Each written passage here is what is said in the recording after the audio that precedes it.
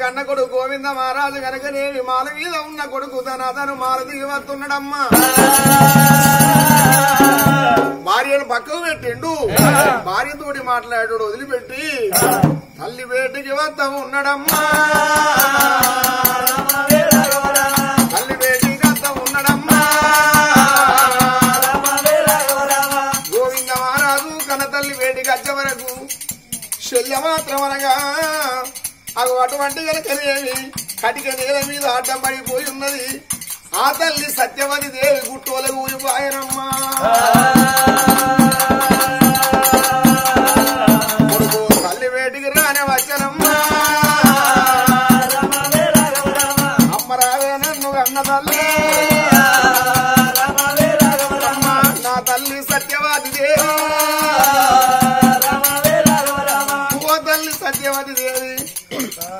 అమ్మ నీకు ఏమి బాధలు వచ్చనే నాకు లేక లేక బిడ్డ పుట్టిందా అని కొడుకు తోట కొడుకు పెళ్ళి వేసినాక బిడ్డని అన్ననా అని బంగారు సేర్ల ఆగు అటువంటి కనుక నేను తొట్టె తయారు చేయించినవే అమ్మ బంగారు తొట్టెలు ఉండంగా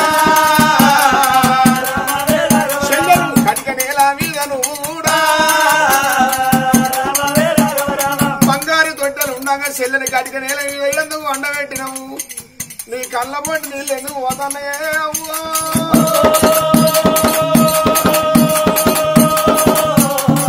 నీ కడుపుతోటి అన్న కొడుకు నీ ఎత్తు కొడుకునున్న గోవింద మహారాజును. అమ్మా నీకు వచ్చిన బాధలైన కల్లా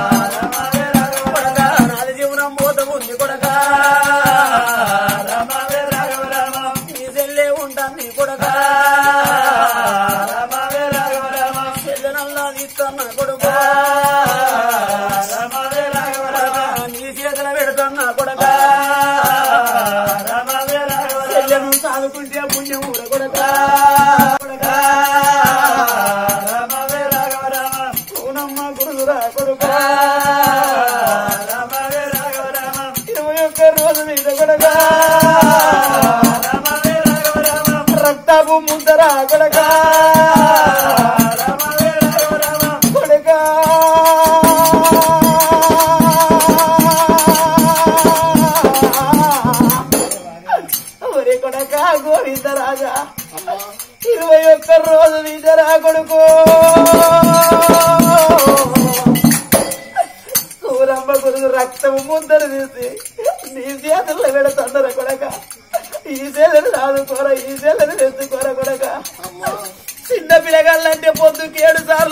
ఏడు సార్లు పాలు ఈపితే బతుకుతున్నారు కొడక.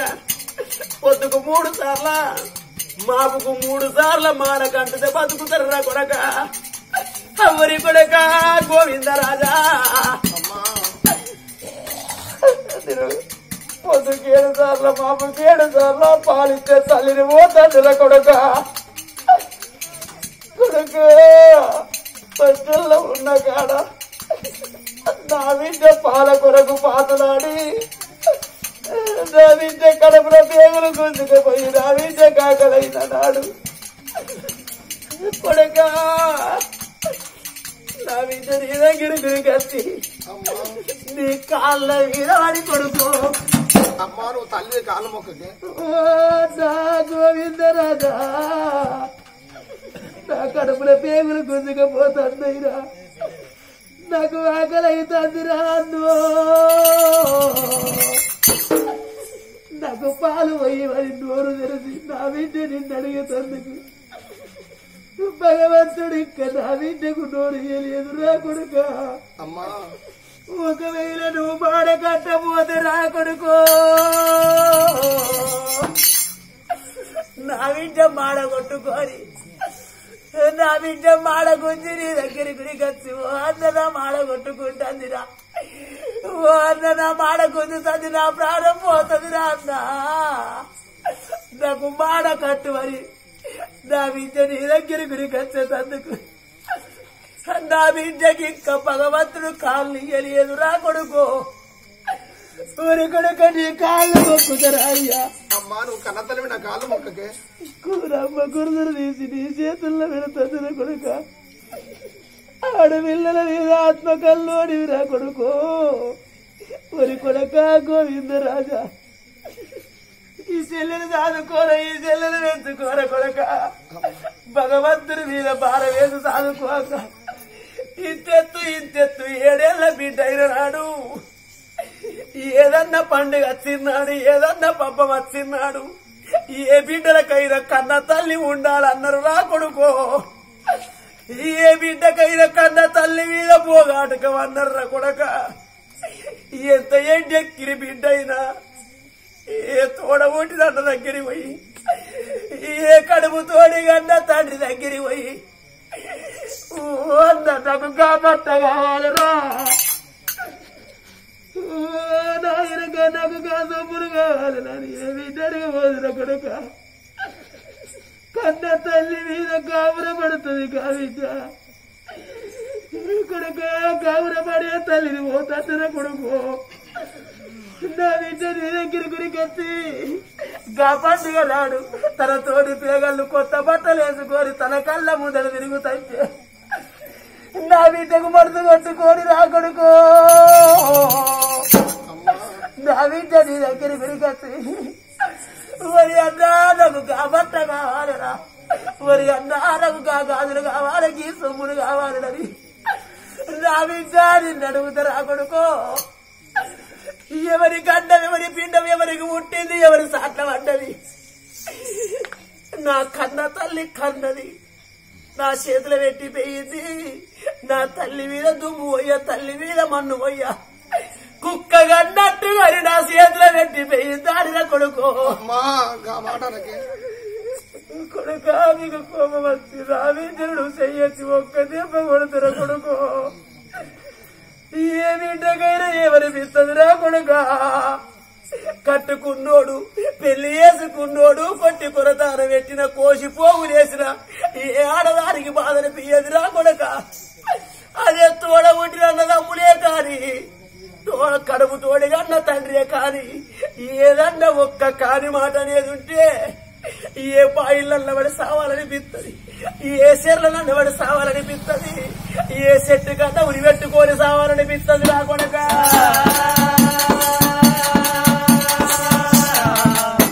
కొడక ఒక్క మాట నువ్వు అనకూరా ఈ చెల్లెలు చదువుకోర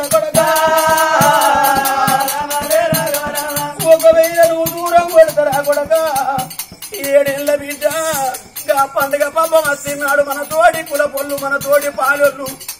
వాళ్ళ పిల్లలు తింటారా అని పలారాలు వేసుకొని వాళ్ళ పిల్లల చేతులకు అంటే అక్కప్పుడు ఈ తల్లి ఉండే పడికి గా బిడ్డకు పలారాలు వేసి తింటాను మంది ముఖం చూస్తాను. నువ్వు పలారాలు తిరువని నేను పలారాలు వేసుకొని నా బిడ్డకు పెట్టుకుంటానా రా కొడుకో.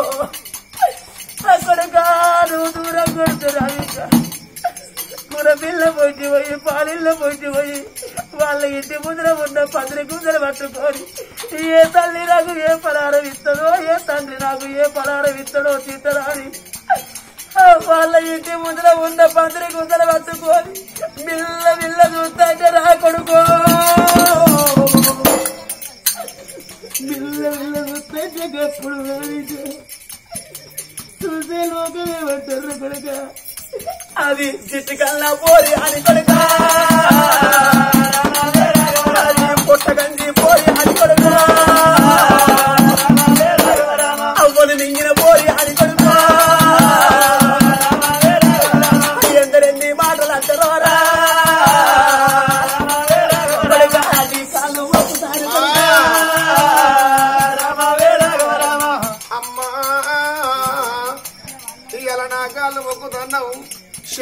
చేసిన చేతుల నా చేతులు పెట్టి కొడక చెల్లెని కాదుకోమన్నవానే అమ్మా. అమ్మ నాకు పెళ్ళి చేసి నాటికి ఐదేళ్ళ కాలం అవుతున్నదే అమ్మా. నా గర్భస్థాన గనకనేమి ఓ కొడుకు పుట్టలేదు ఓ బిడ్డ పుట్టలేదు. పెళ్ళి ఐదేళ్ళు అవుతాను గాని అమ్మ నేను కొడుకుల కలపోతే బిడ్డల కలపోతే ఆడి వాళ్ళ చేతులు అర్థం ఆగదమ్మా? మగ వాళ్ళ చేతుల పిల్లలు బతకబోరే అమ్మా. నిన్ను తీసుకపోరు యమధర్మరాజు వచ్చిందంటున్నావమ్మా వచ్చిన యమధర్మరాజు తోటి చెప్పు.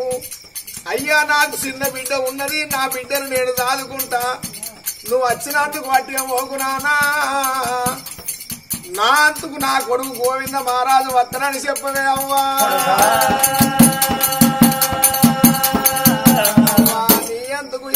యములతోటి అమ్మ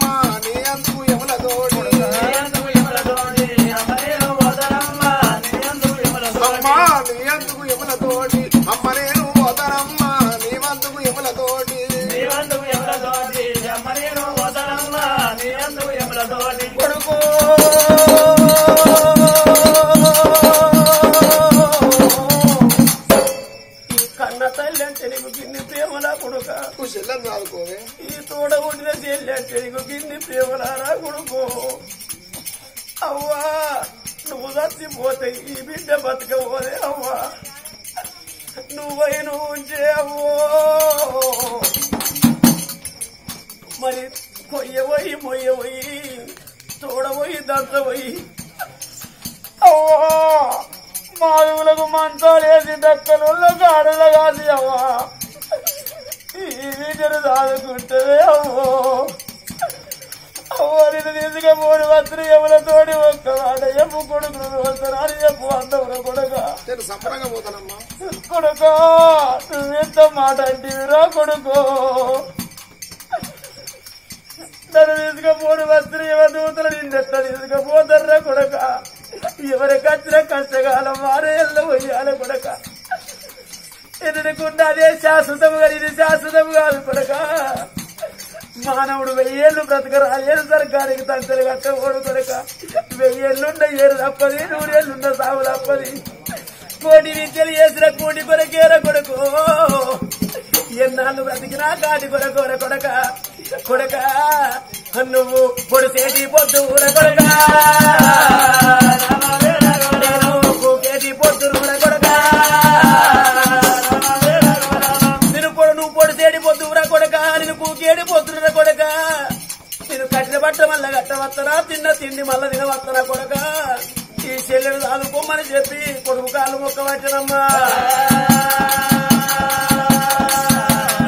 కొడుకు కాళ్ళు మొక్క నాకు గడియ గడియకు మాత్రం అనగా అచ్చిన రోగం ఎక్కువైపోతాను ఇక బాణం పోతుంది కొడుక అన్నప్పుడు.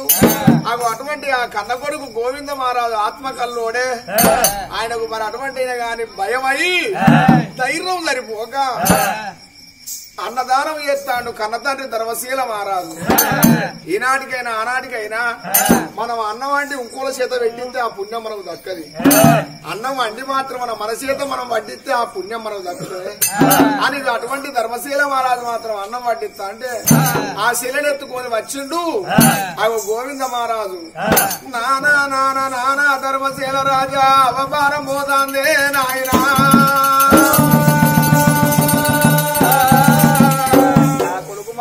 చూసినవా? అప్పుడు నానా నాన్న ఎలుగెత్తి గీకలు పెట్టినప్పుడు అన్నదానం చేసే ధర్మశీల రాజు అనుకున్నాడే. మరి నా కొడుకు మాత్రం గోవింద రాజు ఎలుగెత్తి గీకలు పెడతాను. ఏకంగా మాత్రం ధన ధన ధన ధను? ఆ. తొచ్చగాడు గుడికి వచ్చే వరకు. భార్య సత్యవతి దేవి తొచ్చగాడ గడ్డమడిపోయిందే మాయమ్మ మారిన కాలంలో చూసిన ధర్మశీల రాజు చూడు.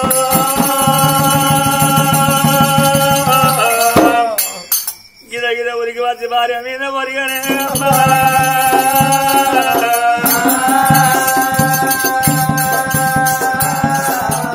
భర్తను చూసే వరకు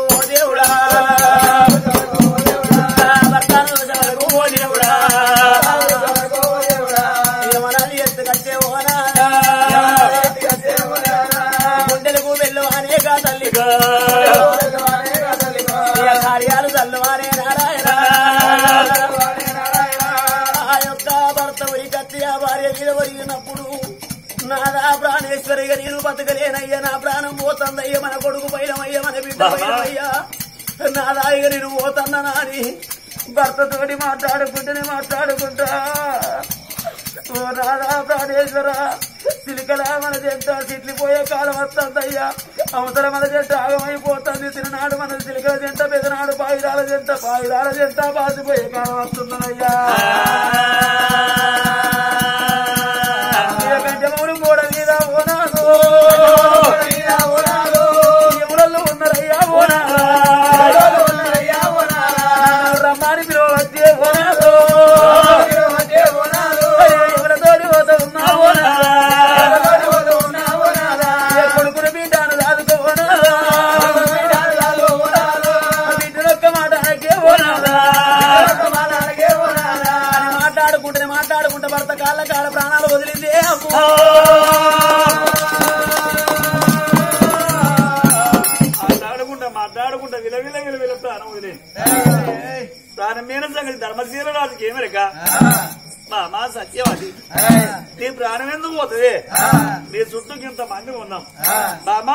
నా కాళ్ళు మొక్క నా కాళ్ళు మొక్క కానీ ఆ భార్యను ఉండేటటువంటి లేవనెత్తి తల మీద చెయ్యేసి గద్వ కింద చెయ్యేసి బామా నా మీద నీకేం కోపం? నాదా ధర్మశీల రాజుని ఒక్కసారి నేను నోటాను అని ఆ తల మీద చెయ్యేసినప్పుడు తల మీద బరువు అడిగాడు రెండు గంటలు మూసిందే అవ్వా.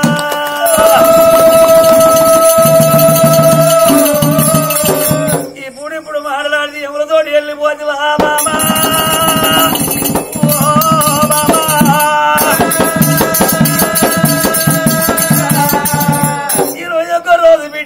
మన బిడ్డ దుర్గ మరి దేవే బామా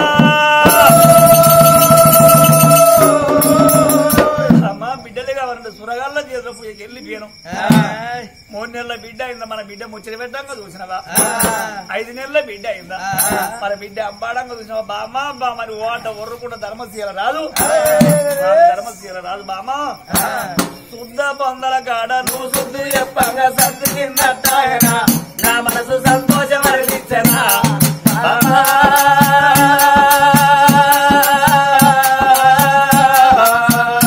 నువ్వు ఎంత చక్కటి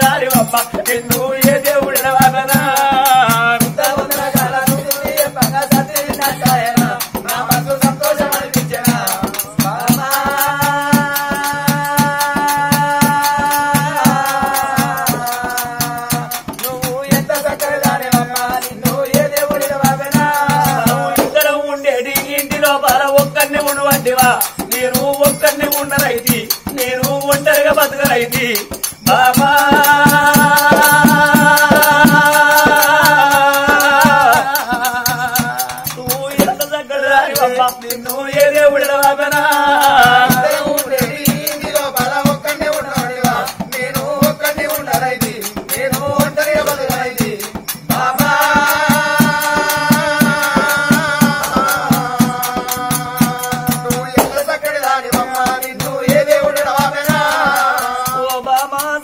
దేవి భర్తతోటే భార్య సుఖం అన్నారు భార్యతోటే భర్త సుఖం అన్నారు బామ. మరి ఏనాడు మాత్రం అనగా భార్య లేని మొగ వారికి బాధలు ఎక్కువ అన్నారు భర్త లేని భార్య మాత్రం ఎక్కువ అన్నారమ్మా.